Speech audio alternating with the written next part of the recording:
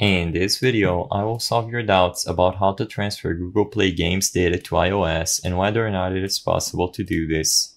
To answer this question, what we can do is open up the Play Store on our Android device and in here, sign into the account where you want to transfer the data from. If you click on your icon at the top right corner of the screen, you will be able to access your apps and your device settings. And over here, while you can manage settings and even share apps, you will notice that the feature to share apps is only between Android devices running the Play Store at the same time. In here, there is no option to connect to an iOS device and transfer your data. Even if we click on our profile picture once again and we head into the help and feedback session, we look for iOS, you will notice that no article related to transferring data from Android to iOS pops up. If we look up transfer data, we will only have the option to switch to a new Android device. And as you can see once again, nothing related to transferring to iOS.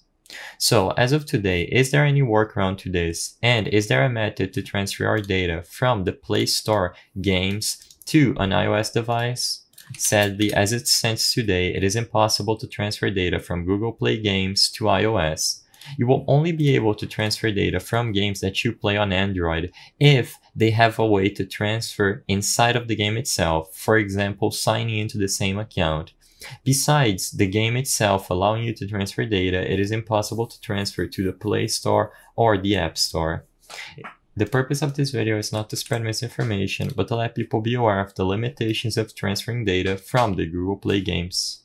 If this video cleared up any questions you had, please be sure to leave a like and subscribe for more quick and easy tips. Thank you for watching.